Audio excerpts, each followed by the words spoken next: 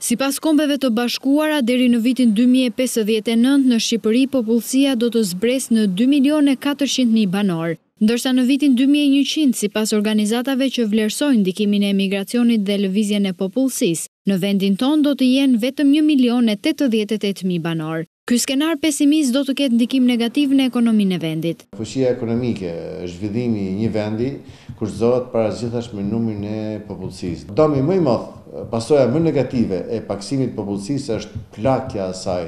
Kjo do të thotë që presioni për të financuar nga buxheti i shtetit skemën e sigurimeve shoqërore dhe shëndetësore do të jetë edhe më i madh. Ulja e numrit të popullsisë do të ketë ndikime edhe në fuqinë punëtore. Numri i popullsisë është një indikator shumë i rëndësishëm për absorbimin e investimeve të huaja dhe njëkohësisht për zgjerimin e aktivitetit të investimeve vendase. Po kaq rëndësi, në të njëjtën kohë, është edhe numri i konsumatorëve. Kundrejt lajmeve për uljen drastike të popullsisë, Instat ka reaguar duke nënvizuar se migracioni është një fenomen dinamik, që do të thotë se të larguarit e një viti janë potencialë për migracion kthimi gjatë një viti të mëparshëm. Sikundër mund të jenë emigrantët potencialë për emigrim sërish në vitet në vijim.